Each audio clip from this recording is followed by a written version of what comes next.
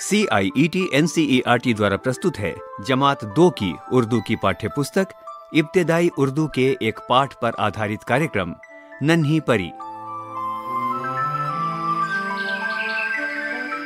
मुद्दतें गुजरी। किसी जंगल में एक नन्ही सी परी हरी हरी घास पर इधर उधर टहल रही थी। बहुत ही छोटी परी थी। आज पहली मर्तबा उसे चलने फिरने का मौका मिला था। यही वजह थी कि वो अच्छी बुरी परियों में तमीज ना कर सकती थी। उसने काले काले बरसने वाले बादल कभी देखे ही ना थे, ना कभी मेह बरसते देखा था। जब काली घटा घिर कर आई तो नन्ही परी सहम सी गई। अब मेह की बूंदें पड़ने लगी। परी घबरा कर चिल्लाने लगी।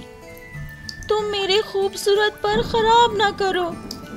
मेरे पास से दूर रहो। बारिश के कतरे न थमे। पहले से भी ज़्यादा ज़ोर से गिरने लगे। नन्ही परी के पर भीग कर भारी हो गए। वो अब उड़ ना सकती थी। वो रोने लगी। पास ही एक बूढ़ी परी रहती थी। उसका काम यह था कि भूली भटकी परियों की मदद करती थी। वो परियों को लिखना, पढ़ना भी सिखाती थी। इसलिए परिस्तान में इस बूढ़ी परी को सब परियाँ उस्तानी परी कहती थी और उसकी इज़्ज़त करती थी। बूढ़ी परी नन्ही परी के पास आई और बोली, प्यारी बेटी, तुम घबराओ नहीं। मैं तुम्हारी मदद करूँगी। तुम्हारे पर अभी खुश्क हो जाएँगे। बेटी, मेरी नज़र जरा कमज़ोर है। तुम गौर से देखो, आसमान पर एक रंगीला झूला नज़र आ रहा है। नन्ही परी ने देखा तो आसमान पर उसे धनक दिखाई दी धनक देखकर नन्ही परी बोली दादी देखो तो कैसा अच्छा झूला है जी चाहता है कि यहाँ से उड़कर उस झूले में खूब झूलूं। ये बारिश के कतरे जल्दी बंद हो जाएँ, तो मैं दौड़ती कूदती फांती भागती चली जाऊँ। बूढ़ी परी ने नन्ही परी की जब ये बातें सुनी तो पहले तो जरा मुस्कुराई फिर बोली बेटी धनक और बारिश को तुम अलग-अलग नहीं कर सकती। इन्हीं कतरों ही से तो धनक बनती है।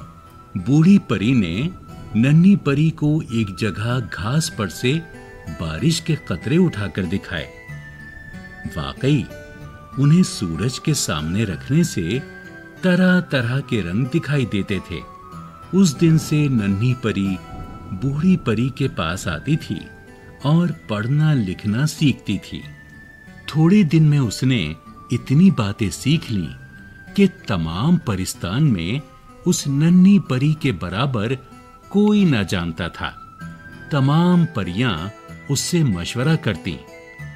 कुछ दिनों के बाद वो पूरे परिस्तान की मलिका बन गई। चाँद में परियाँ रहती हैं। अम्मा बाजी कहती हैं, चाँद में परियाँ रहती हैं। रात को पर फैलाती हैं और उतर कर आती हैं।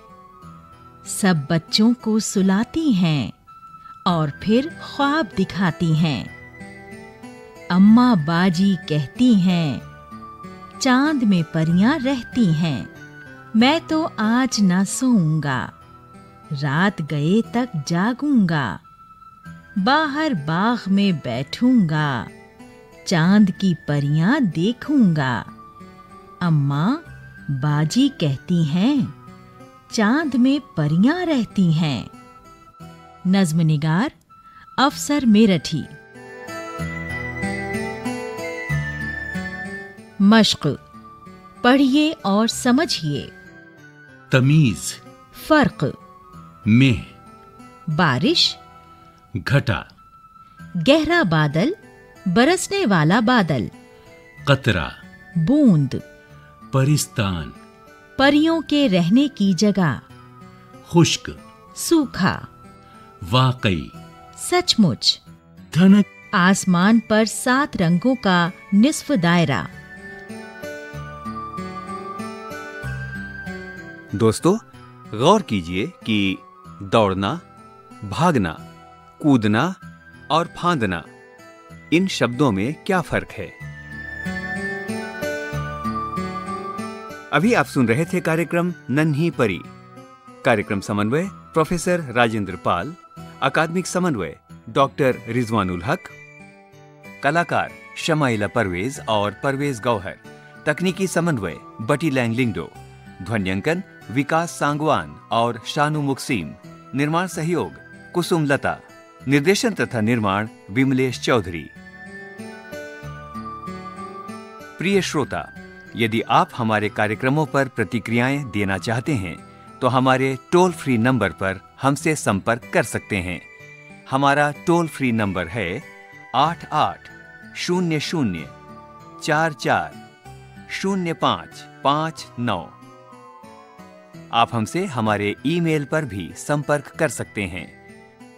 हमारे ईमेल का पता है audio at C I E T dot nic dot in यह कार्यक्रम C I E T N C E R T नई दिल्ली, भारत द्वारा प्रस्तुत किया गया।